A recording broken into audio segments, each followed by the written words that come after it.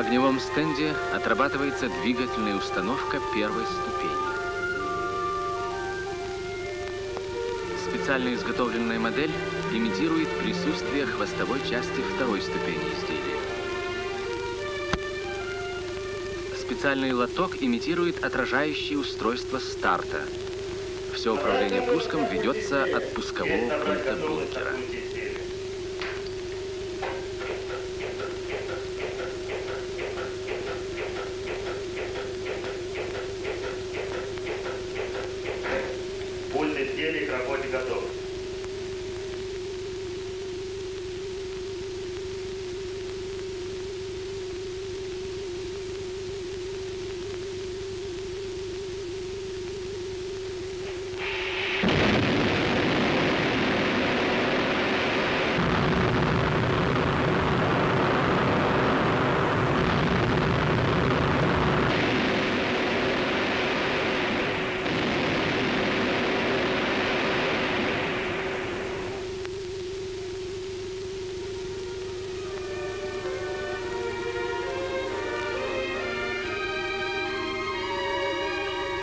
Осмотр модели второй ступени и двигателей первой ступени показал, что запуск прошел нормально. На модели не обнаружено никаких следов перегрева.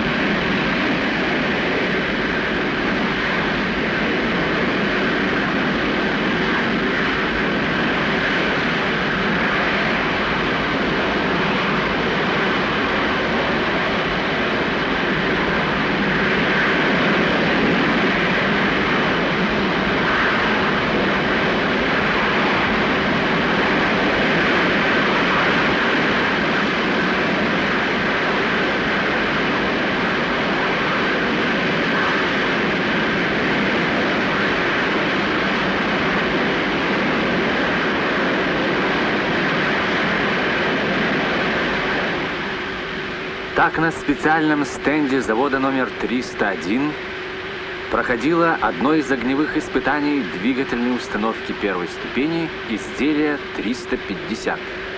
Во время этого испытания определялись основные параметры работы двигателя и других агрегатов.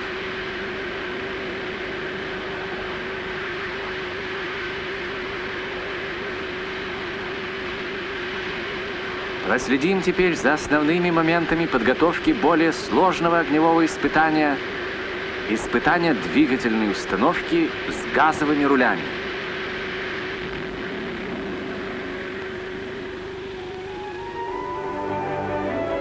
Изделие поступает в низкую зону стенда, где оно расчехляется.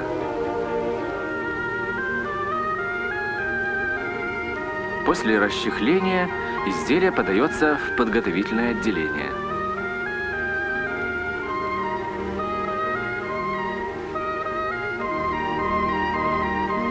Установке изделия на стенд предшествует тщательная проверка герметичности гидравлических трактов, проверка электросети, бортовой аппаратуры и других систем.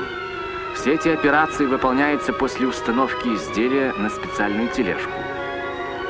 В задачу нашей кинодокументации не входит подробный показ всех этапов подготовки к испытанию. Поэтому переходим прямо к операции проверки работы рулевых приводов и программных механизмов.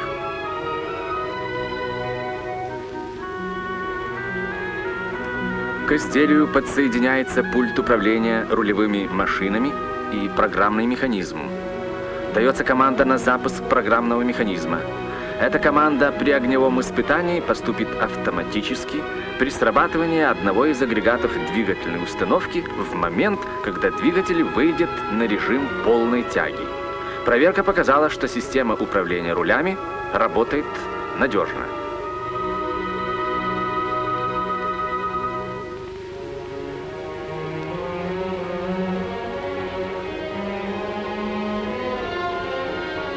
Изделие подается на эстакаду стенда.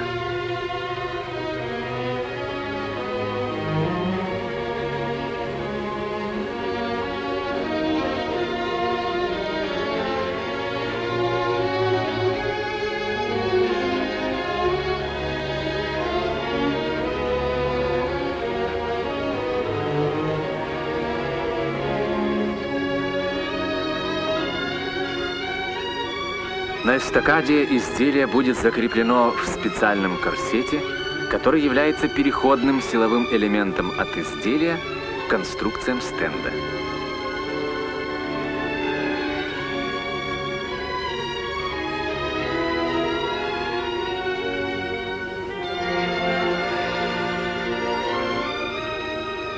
Следует заметить, что изделие крепится к корсету теми же узлами, которые предназначены для присоединения первой ступени ко второй и к стартовому устройству. Таким образом, условия работы силовой схемы во время огневого испытания максимально приближаются к условиям работы изделия в реальной обстановке.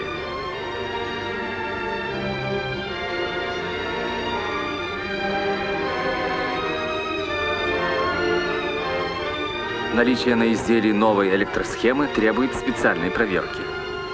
Для проведения этой проверки разъемы электросети борта отсоединяются от агрегатов изделия и к ним присоединяются точно такие же пиропатроны, какие установлены в агрегатах самого изделия.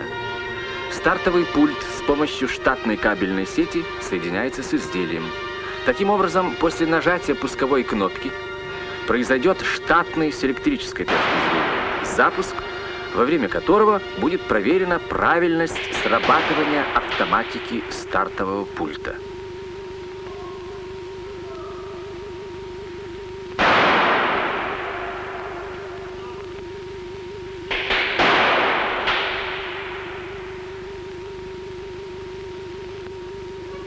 Проверки окончены.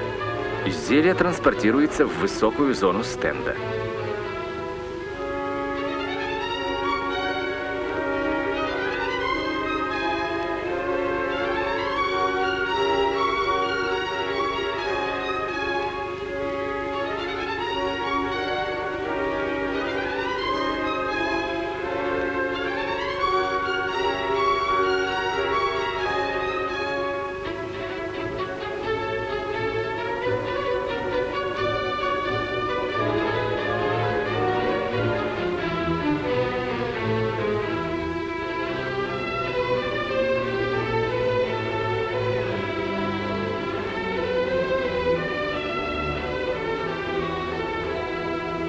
После установки изделия в рабочее положение к нему подсоединяются все измерительные линии и кабели управления. Баки заполняются компонентами, а воздушный аккумулятор давления сжатым воздухом. Подготовка двигательной установки закончена. Приняты некоторые меры предосторожности. Идут последние приготовления девятишлейфовых осциллографов. Подготавливается насосная, обеспечивающая подачу воды до 700 литров в секунду. Вода необходима для защиты отражающего лотка и пожаротушения. Готовы к работе пульт управления изделием, пульт агрегатов стенда, пульт управления системы пожаротушения.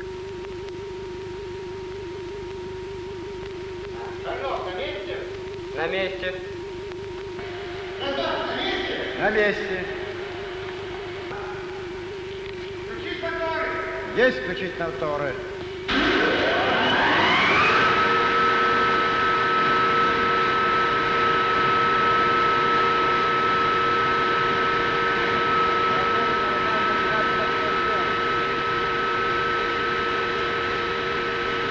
Сарай, набрать готовность на пульте изделия. Есть набрать готовность на пульте изделия.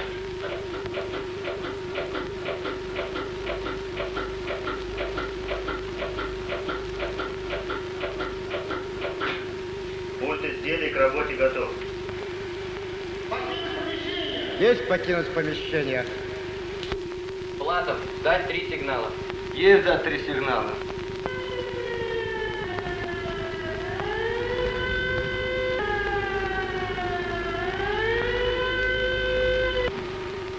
Платов, откройте задвижки 8 и 9.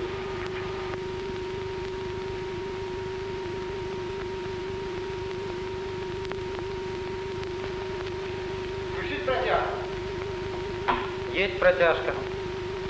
Сарай, пуск. Есть пуск.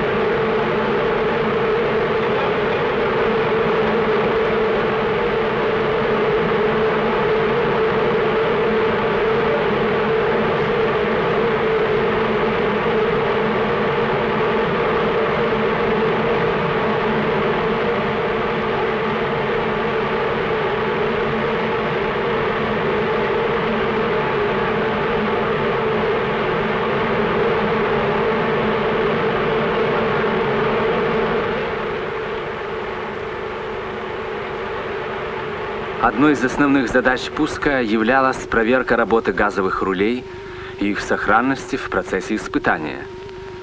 Пуск прошел хорошо.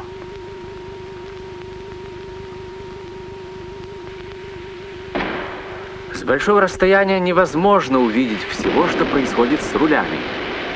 На помощь нам пришел телеобъектив, который фиксировал пуск с другой съемочной точки. Таким образом, мы имеем сейчас возможность вторично просмотреть тот же процесс на более крупном плане.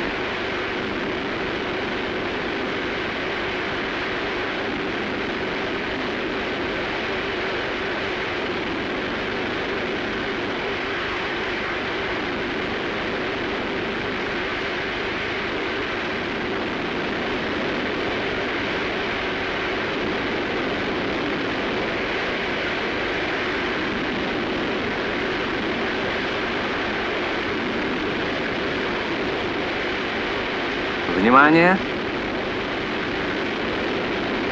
Сброс! Вот теперь мы собственными глазами видели, что рули в процессе испытания хорошо сохраняются и точно выполняют заданную им программу.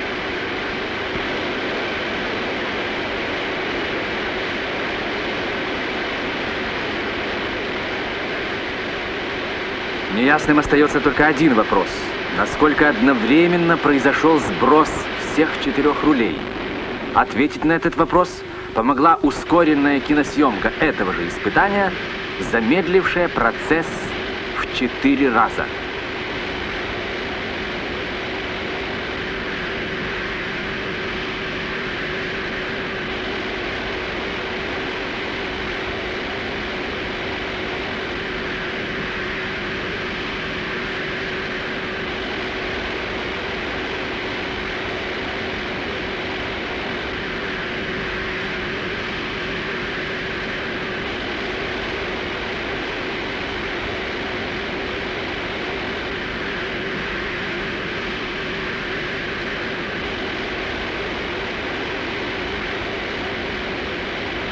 Внимание!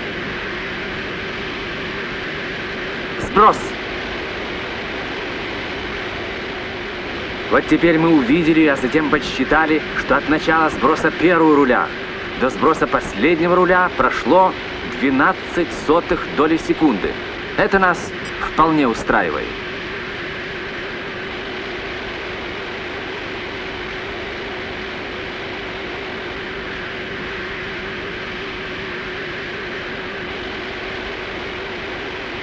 После окончания огневого испытания сотни метров осциллографических записей показаний приборов подвергаются расшифровке и обработке. В результате определяются основные характеристики работы первой ступени изделия 350.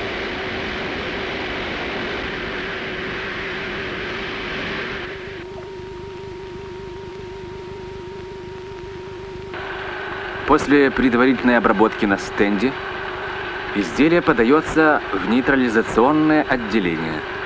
Здесь оно подвергается частичной разборке и нейтрализации до полного удаления остатков агрессивных жидкостей.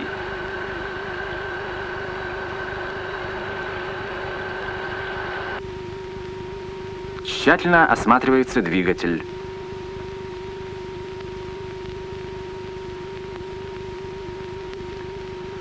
Наличие потеков заставляет призадуматься представителя ОКБ, создающего этот двигатель.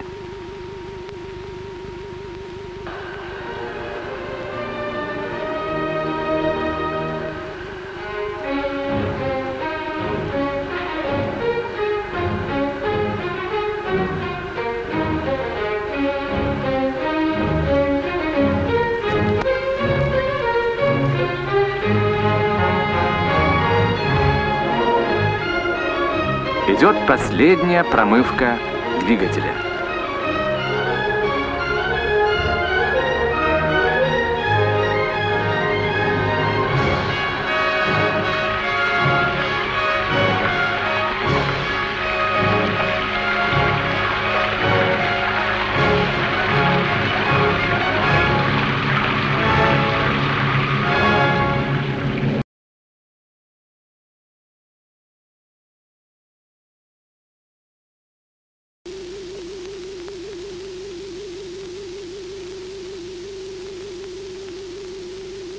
Огневым испытаниям подвергается маршевая ступень ракеты с искусственным созданием температурных режимов для работы прямоточного двигателя, приближающих условия его работы к реальным условиям в полете.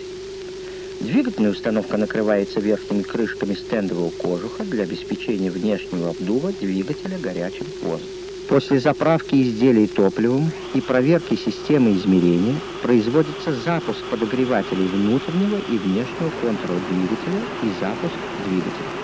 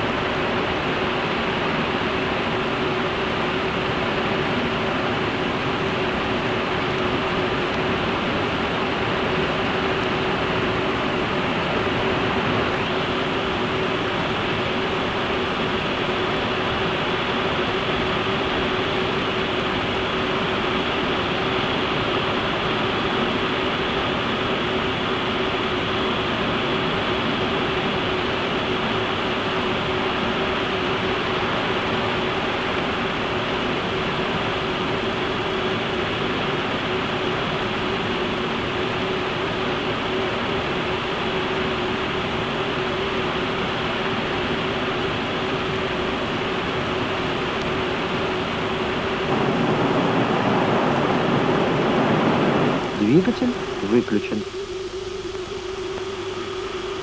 Испытание окончено.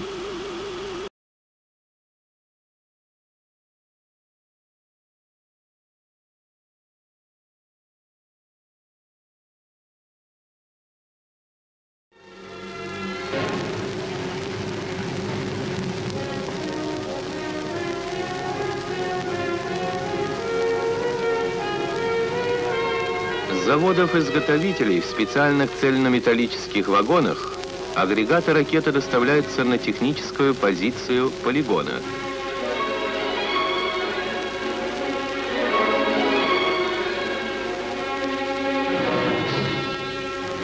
Центральным сооружением технической позиции является монтажный испытательный ангар. В нем производятся все основные работы по подготовке ракеты перед отправкой ее на стартовую позицию. Начинается подготовка к разгрузке агрегатов ракеты. Для удобства разгрузки вагоны снабжены выдвигающейся рамой, на ложементах которой закреплены зачехленные агрегаты ракеты. Такой способ разгрузки обеспечивает легкий доступ со всех сторон каждому агрегату.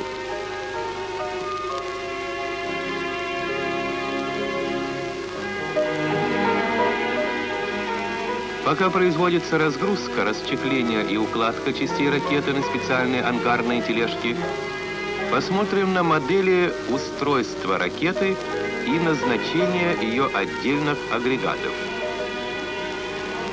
Изделие «Буря» представляет собой двухступенчатую крылатую ракету дальнего действия. В сборе она состоит из, собственно, ракеты с прямоточным двигателем и двух симметрично подвешенных стартовых ускорителей. Ускорители обеспечивают взлет, набор необходимой высоты и скорости полета. После сброса ускорителя ракета продолжает полет по заданной траектории. Управление полетом осуществляется астронавигационной системой, передающей команды на газовые и воздушные рули. После раздельных проверок ускорителей и маршевой ступени ракеты на состыкованном изделии производятся автономные проверки агрегатов бортового оборудования –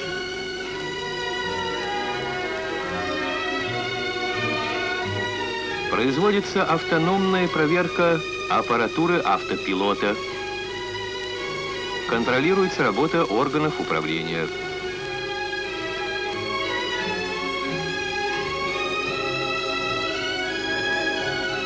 Производится подготовка комплексной проверки всего бортового оборудования в целом.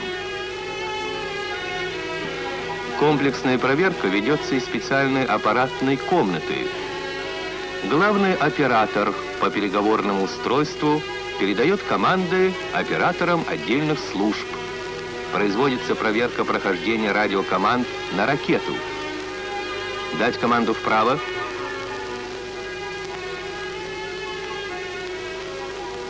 Дать команду «Отбой».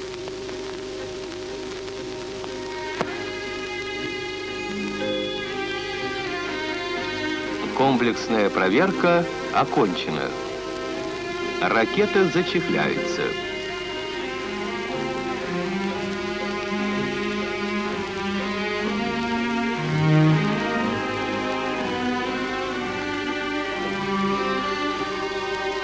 Для отправки на стартовую позицию ракета при помощи мостового крана и траверсы перекладывается на железнодорожный лафет-установщик.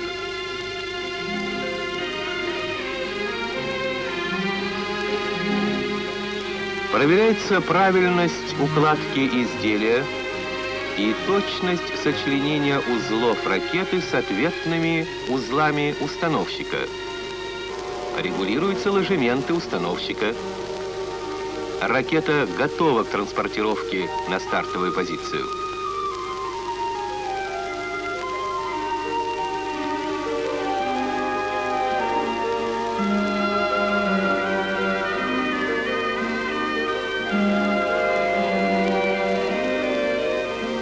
Ракета на лафете установщики транспортируется мотовозом на стартовую позицию, удаленную от технической на расстояние около 25 километров.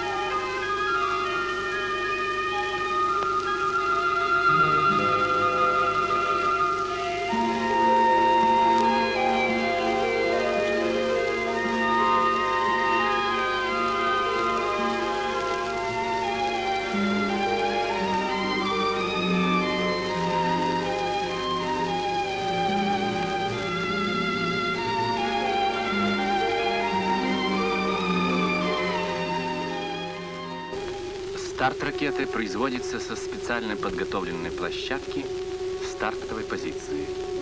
Ракета доставлена на место пуска по железной дороге на лафете установщики.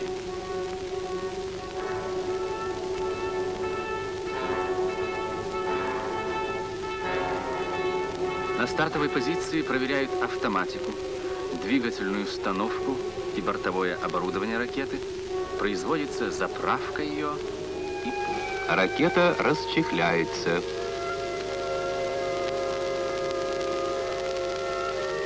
На лафете устанавливаются трапы и площадки обслуживания. Вскрываются эксплуатационные люки. К ракете присоединяются воздухопровод раскрутки турбонасосного агрегата.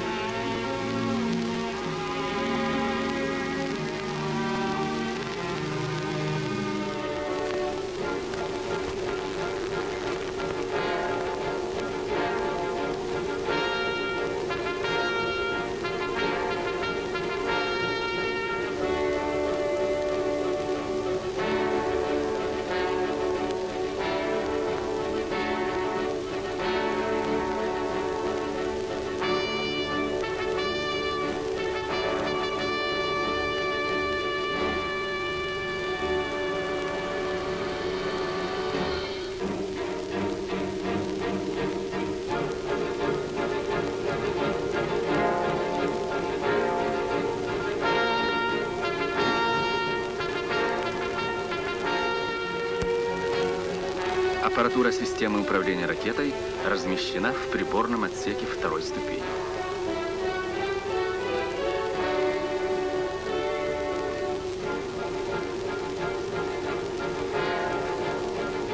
Газовые рули осуществляют управление ракетой на начальном участке траектории. Дальнейшее управление ракетой производится воздушными рулями.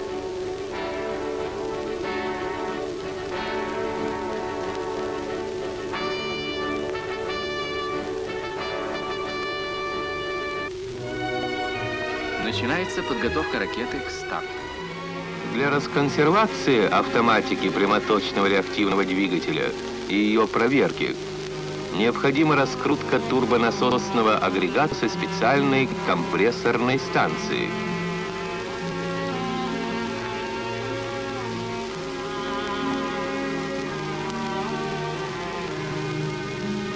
Компрессор запускается и выводится на режим.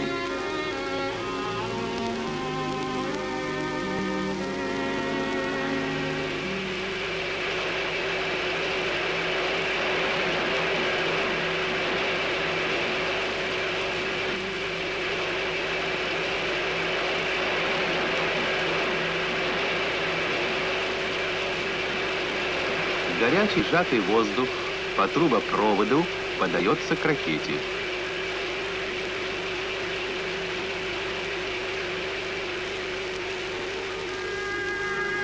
Начинается раскрутка и проверка работы турбонасосного агрегата.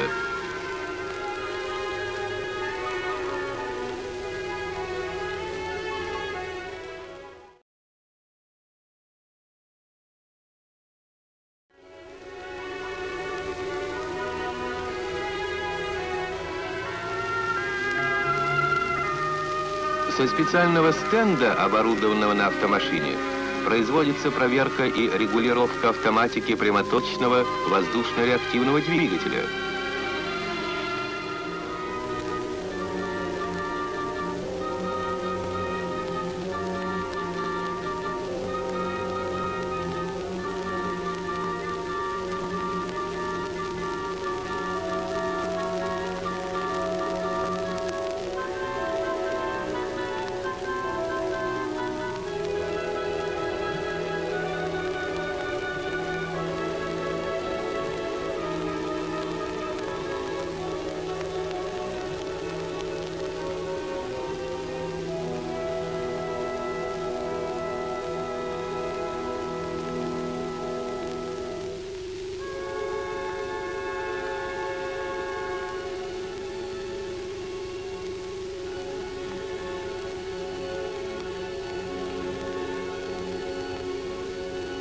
Заправками и подъемом изделия делается комплексная проверка бортового оборудования в горизонтальном положении.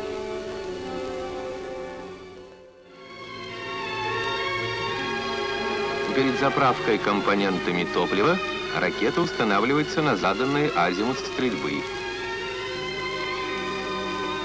Для установки ракеты по азимуту из кабины управления производится поворот всего стартового устройства на заданный угол.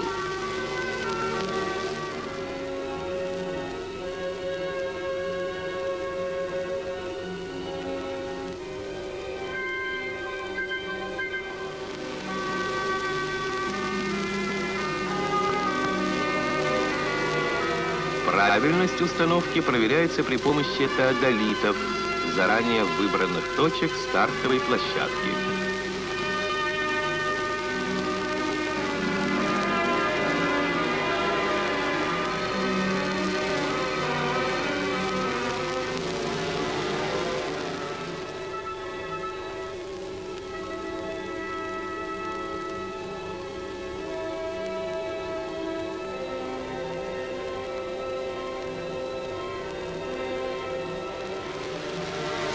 Установка ракеты закончена.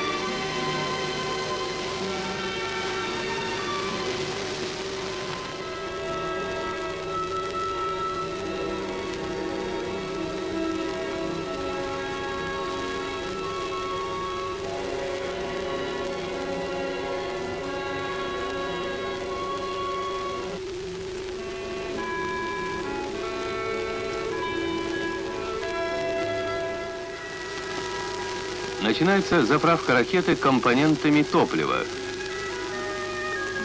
До установки ракеты в вертикальное положение ускорители заправляются азотной кислотой. Тщательно и надежно соединяются питающие трубопроводы. Заправка азотной кислотой требует от исполнителей повышенного внимания и точного соблюдения специальных требований техники безопасности.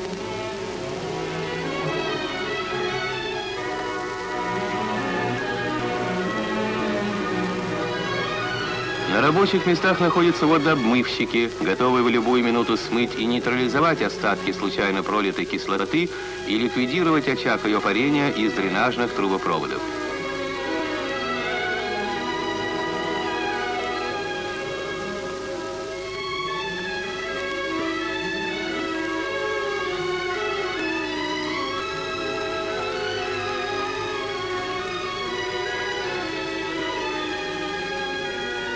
Заправка кислотой окончена.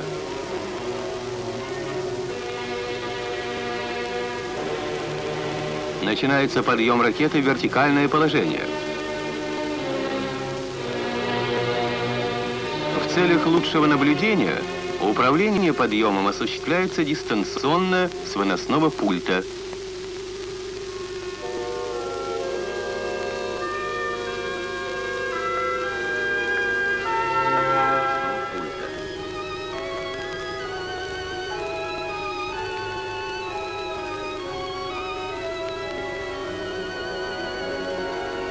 Подъем изделия в вертикальное положение производится гидродомкратами лафета-установщика.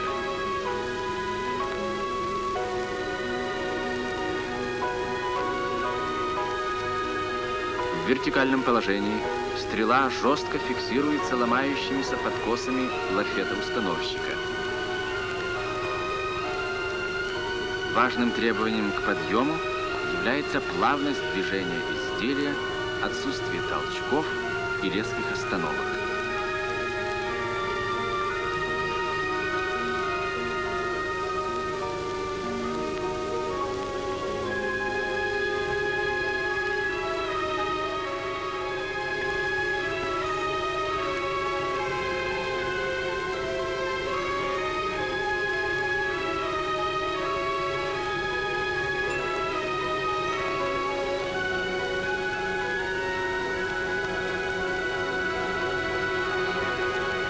Ознакомимся со схемой работы стартового устройства.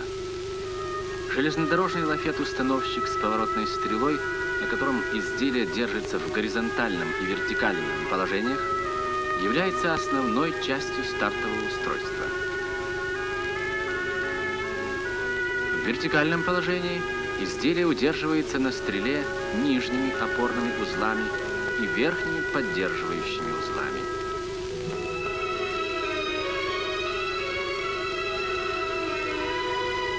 Для безопасности схода изделие отводится от стрелы системой рычагов пантографов, нижних и верхних. Сейчас мы видим взаимодействие элементов стрелы установщика при сходе. Начинают двигаться пантографы. При прохождении угла 57 градусов пантограф включает сигнал на отброс нижнего узла. При дальнейшем движении пантографа Включается сигнал на отброс самих пантографов и стрелы установщика.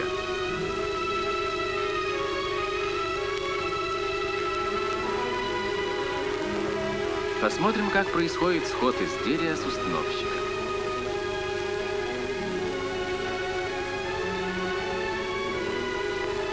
После того, как двигатели изделия вышли на полный режим тяги, открывается замок, удерживающий изделие. Изделие начинает двигаться вверх и тянет пантографы. Происходит отброс опорных узлов, пантографов и стрелы. Производится заправка топливом первой и второй ступени ракеты в вертикальном положении. В дальнейшем эти заправки будут производиться в горизонтальном положении.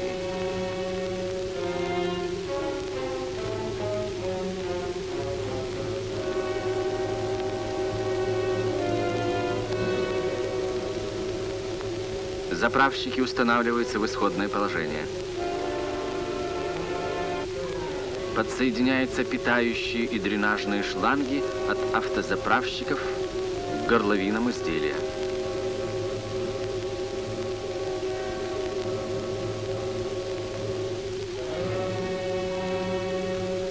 Запускаются насосы заправщиков.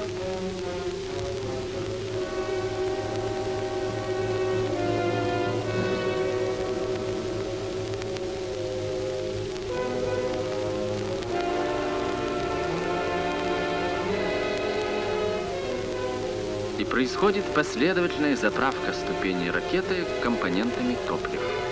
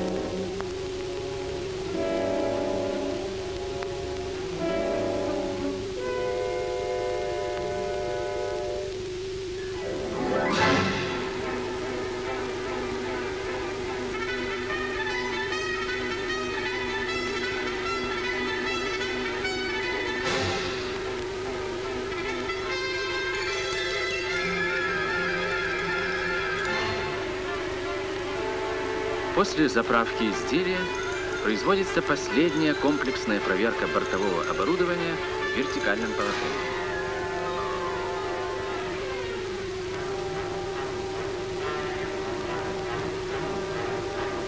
Проверяется система управления ракетой.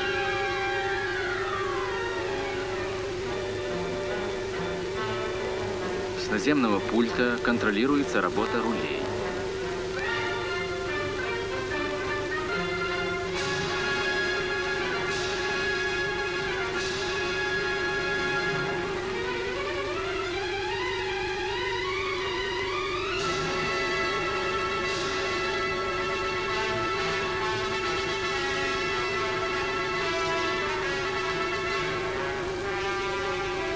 Закончены ночные работы по шестичасовой готовности. Настало утро. Все готово к пуску ракеты.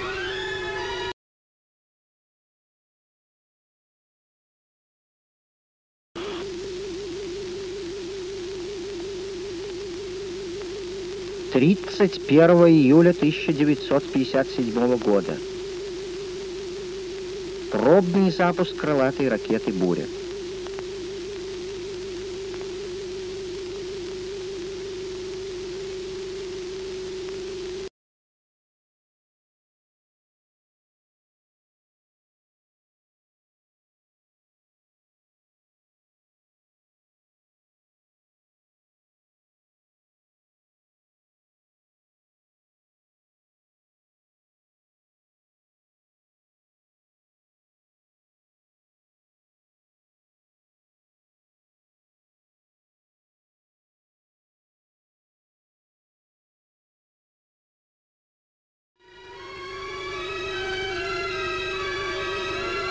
Приведены в готовность средства трассы.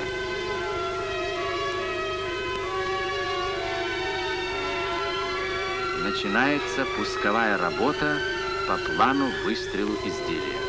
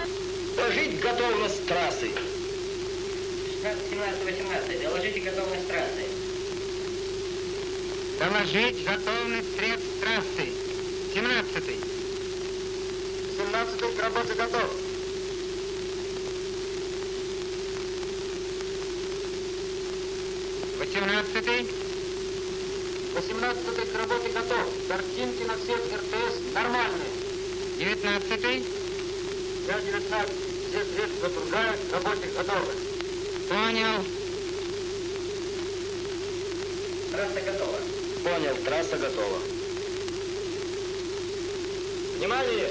Минутная готовность. Включить зажигание. Зажигание включено. Перейти на борт. На борт перешел, напряжение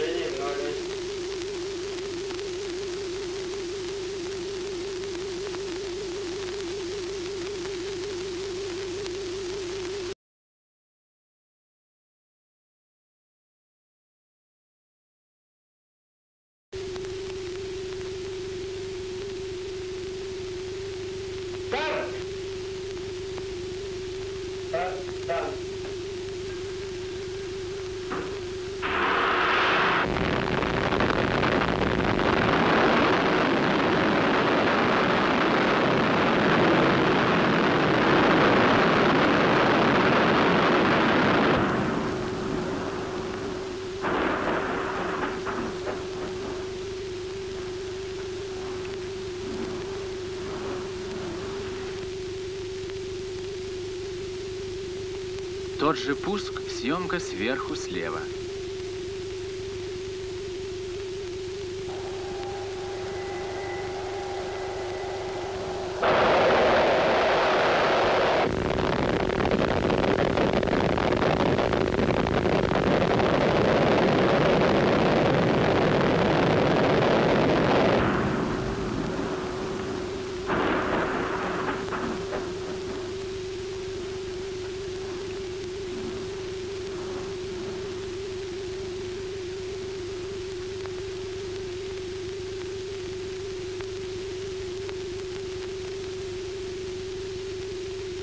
Съемка со стороны железнодорожного полотна.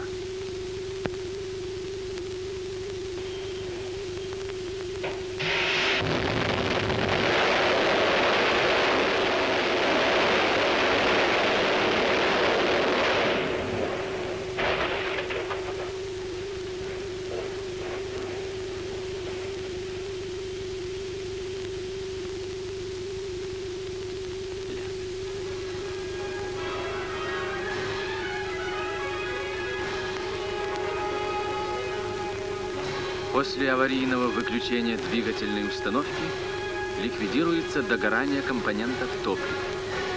Место старта нейтрализуется водой.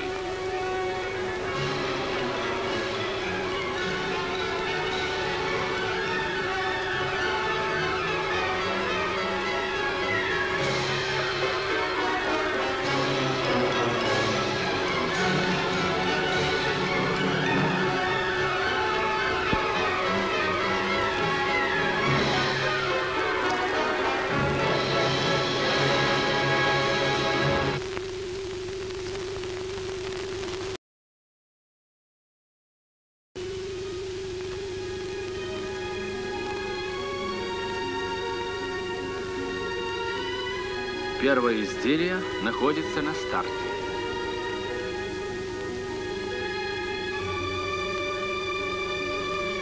Проходит цикл предстартовых проверок и заправок компонентами топлива.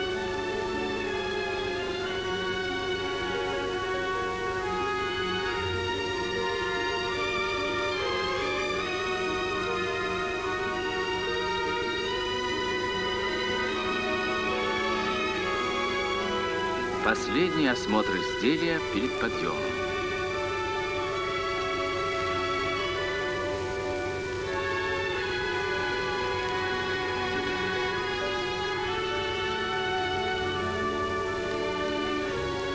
Настало время пуска.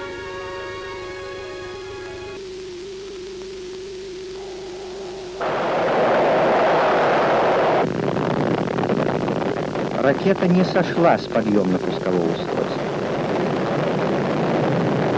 Автоматика двигательных установок выполнена таким образом, что в случае, если одна, любая из восьми камер не вышла на режим, двигательные установки автоматически отсекаются, и команда на сход ракеты со стартового устройства не должна пройти. Анализ результатов телеметрических измерений и осмотр ракеты показал, что причиной отказа в пуске явилось разрушение клапана унитарного топлива, в результате чего один из ускорителей не вышел на режим номинальной тяги, и автоматика выключения двигателя сработала нормально. В конструкцию клапана были внесены необходимые изменения, обеспечивающие его надежность в работе. 1 сентября 1957 года восстановленная ракета доставлена на старт и подготовлена к пуску. В момент старта от ракеты неожиданно отделились газовые рули. Ракета сошла с подъемно-пускового устройства и, круто повернув в направлении директрисы полета, упала в районе стартовой позиции. В результате удара о землю произошел взрыв.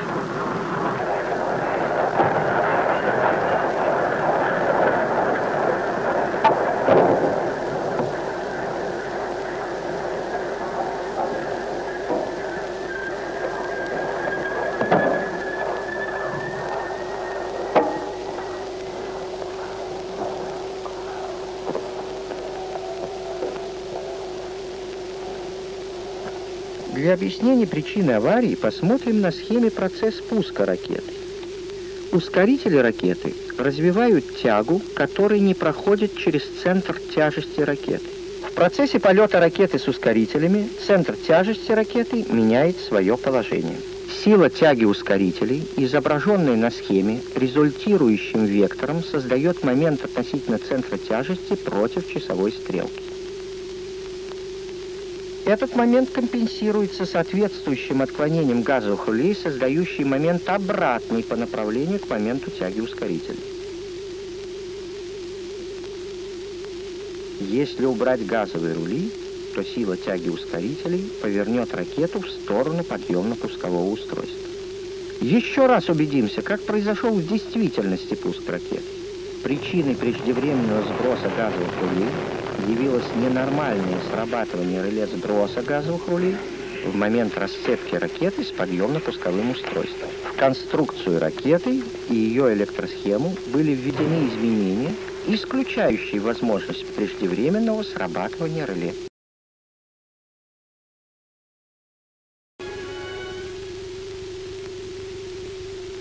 Внимание! Минутная готовность! Включить зажигание! Зажигание исключено. Перейти на борт! На борт перешел напряжение верни. Там! Там, там.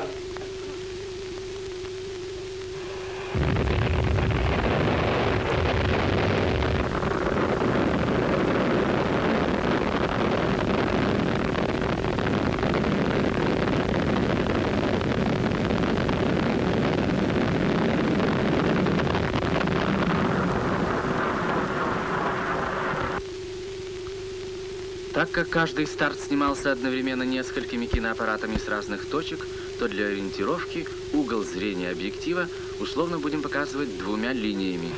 Сейчас будет виден старт изделия, снятый со стороны бункера.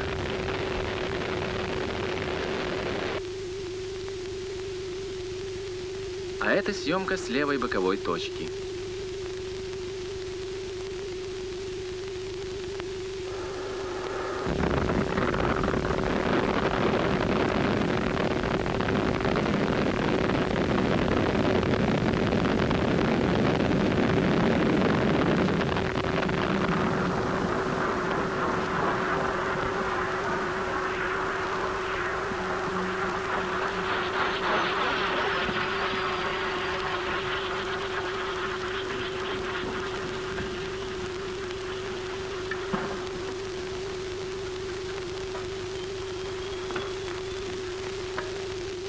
Съемка с левой боковой точки. Справа видны две скоростные камеры.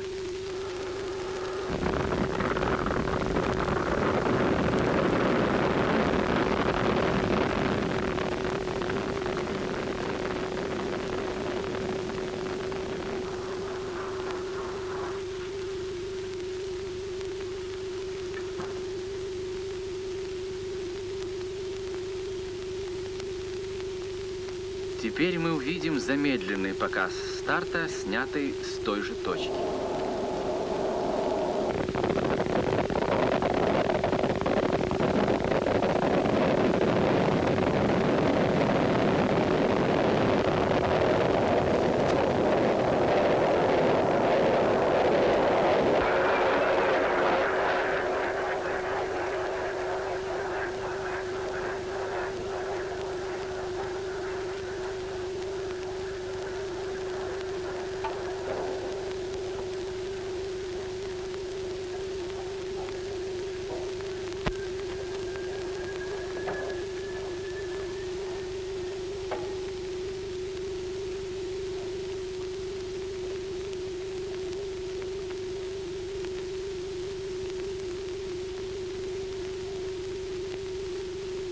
Тот же старт снят слева с высоты 30 метров.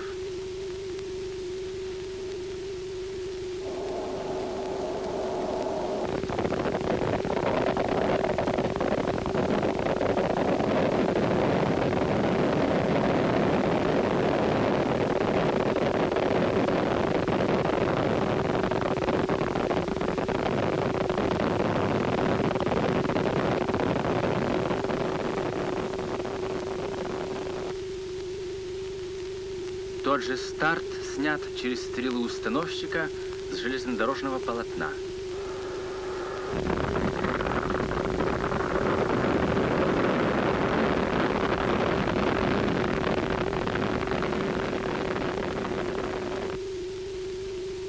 А этот старт снят справа, с самой дальней точки.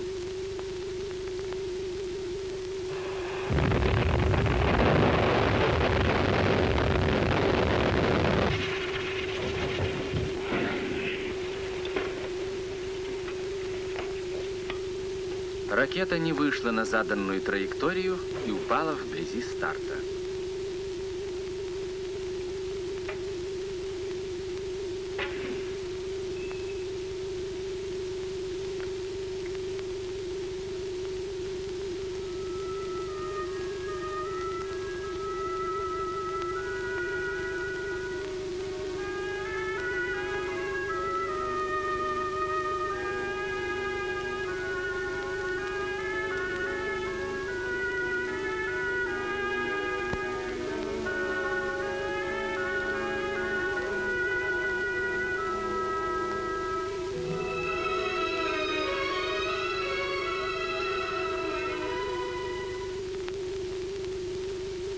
Сейчас будет показана деталь старта.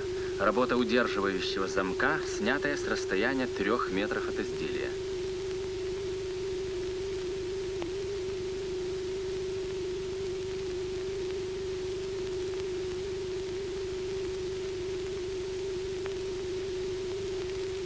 Отклонение ракеты от траектории и падение ее явилось следствием сброса газовых рулей при старте.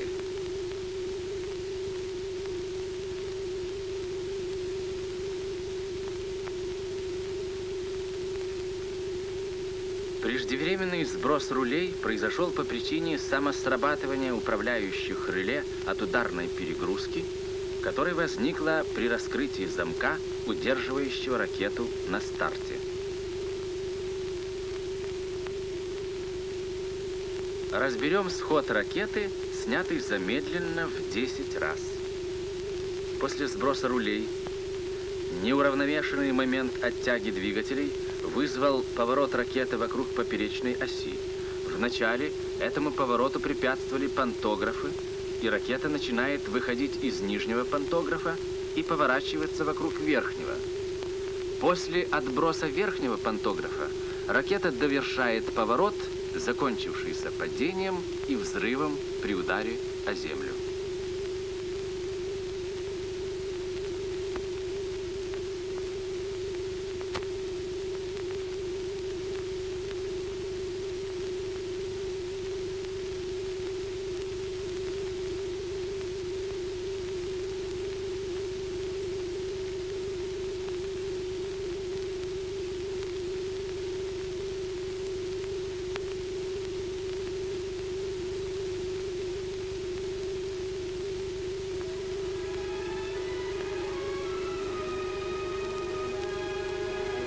После устранения недостатков, выявленных при первом пуске, и доработки схемы управления ракеты, был произведен пуск второй ракеты.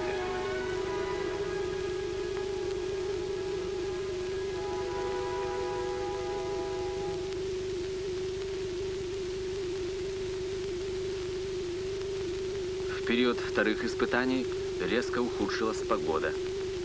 Густым туманом заволокло и стартовую позицию, и само изделие. Доложить готовность трассы. 16, 17, 18. Доложите готовность трассы. Трасса готова. Понял, трасса готова.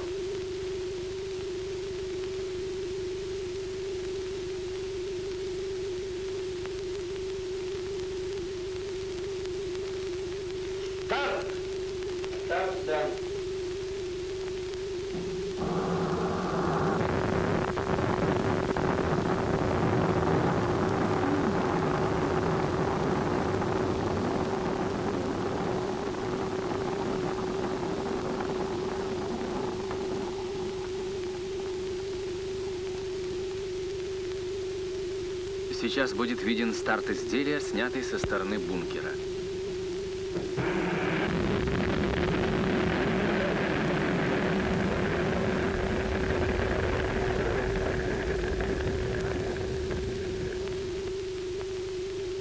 А это съемка с левой боковой точки.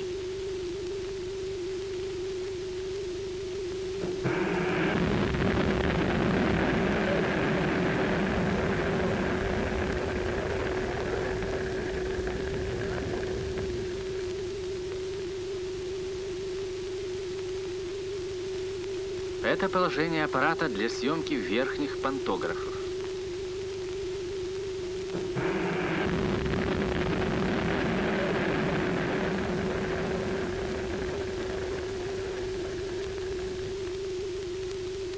Положение аппарата при съемке общего плана.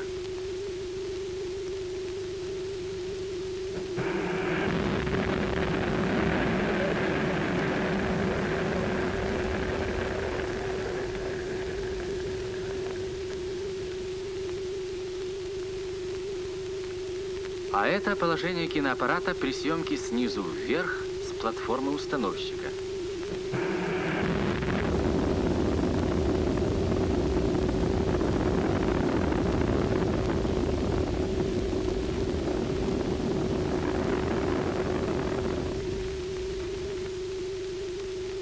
Это съемка того же пуска от бункера.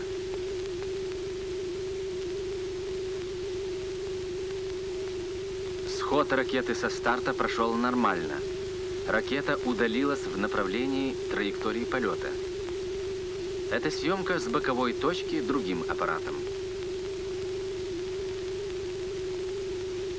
На 31 секунде нормальный полет ракеты прервался из-за отказа двигательной установки первой ступени.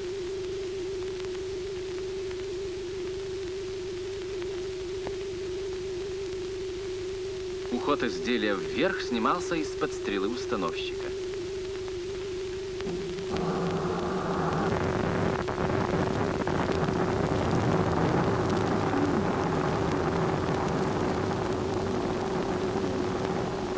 Выявленные недостатки устраняются. Готовится к пуску следующая ракета.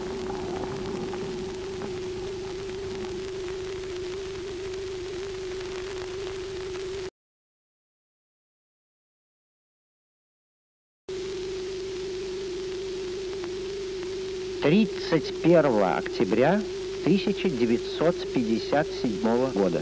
В период испытаний погода резко ухудшилась.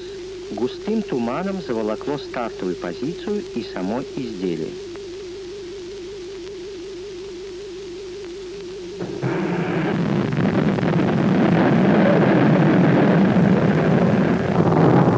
Сход ракеты с подъемно-пускового устройства прошел нормально.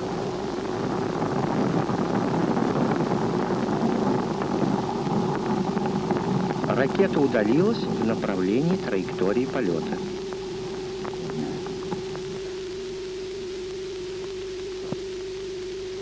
Построим график теоретической траектории полета. Нанесем на этот график теоретическую скорость программного полета ракеты. Анализ телеметрических измерений показал, что до 31 секунды полета фактическая траектория ракеты очень близка к теоретической. Аналогично, фактическая скорость ракеты также близка к теоретической.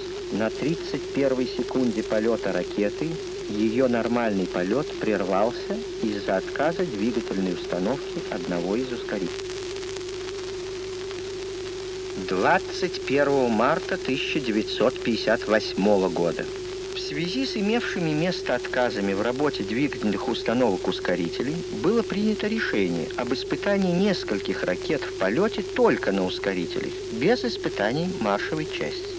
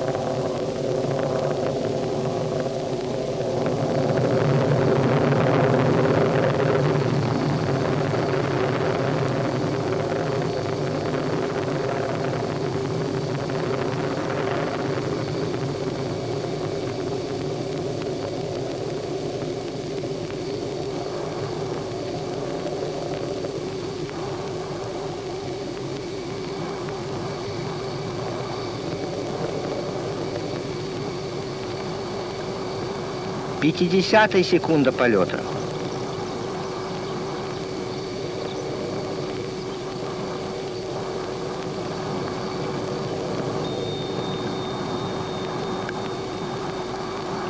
Вскоре после сброса газовых рулей и перевода ракеты на отрицательные углы атаки она потеряла управление.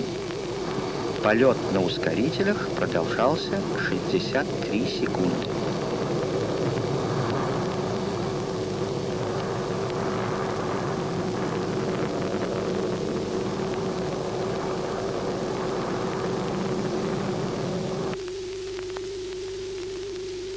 Двадцать восьмого апреля 1958 года. Пуск ракеты производится по программе, аналогичной предыдущему пуску.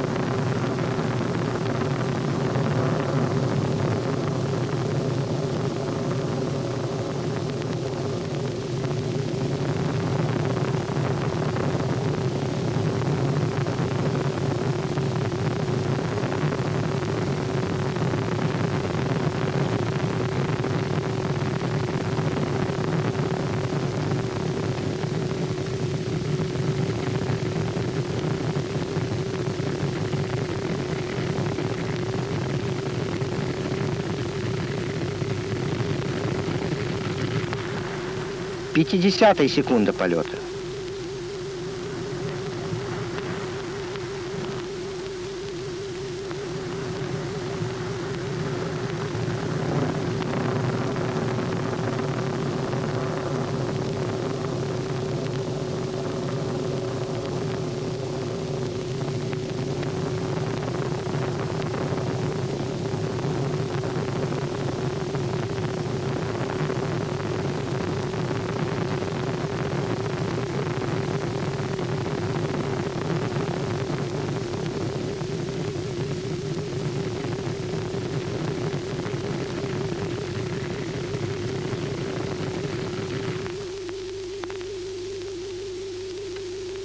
Двадцать второго мая 1958 года.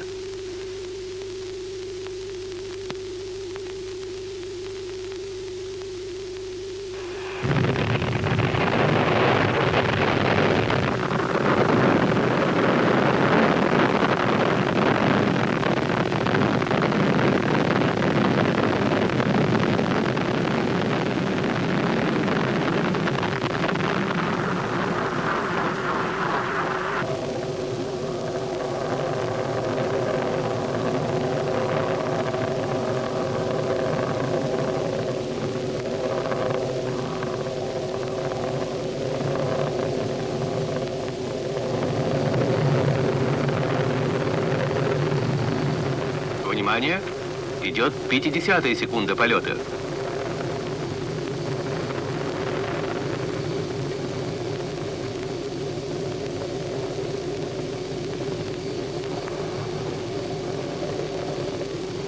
Сброс газовых рулей.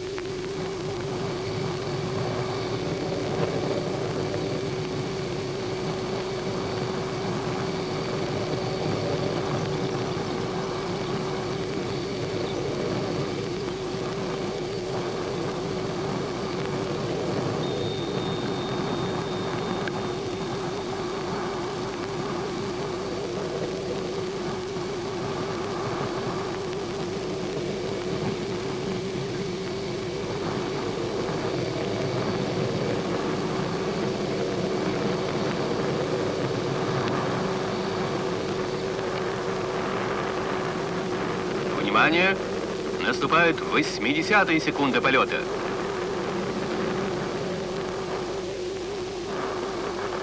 Запустился прямоточный воздушно-реактивный двигатель маршевой части ракеты. Сброс ускорителей.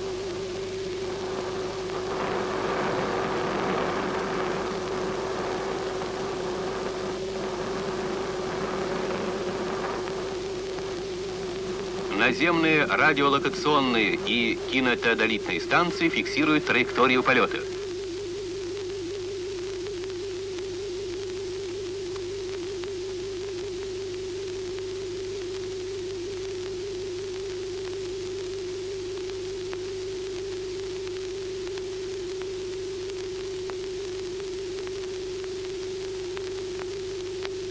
Анализ телеметрических и кинотеодолитных измерений показал, что в течение всего полета фактическая траектория полета и скорость полета ракеты полностью соответствовала теоретическим. Программа полета выполнена.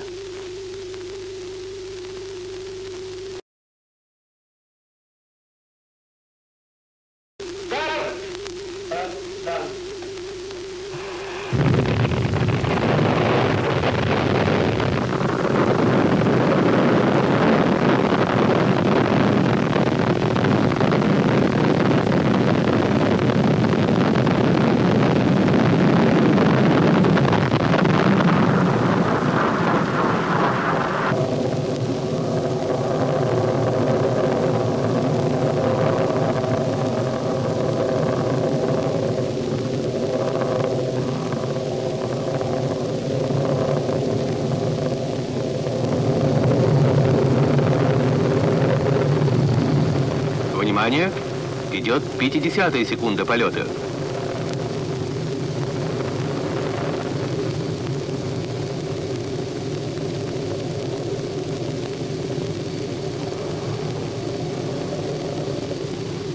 Сброс газовых рулей.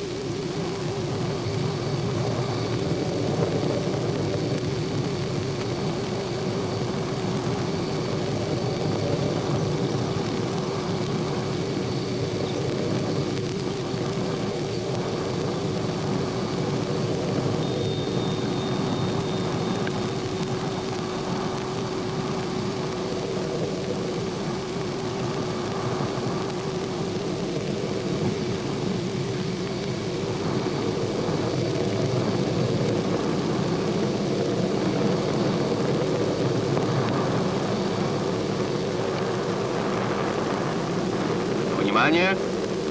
Наступают 80-е секунды полета.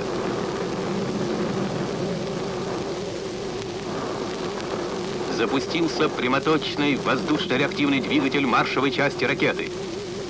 Сброс ускорителей.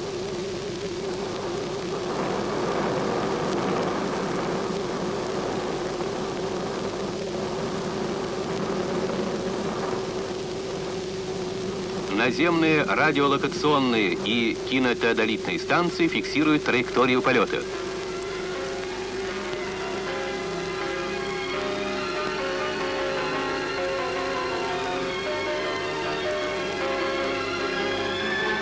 Координаты полета ракеты по трассе передаются в центральный командный пункт.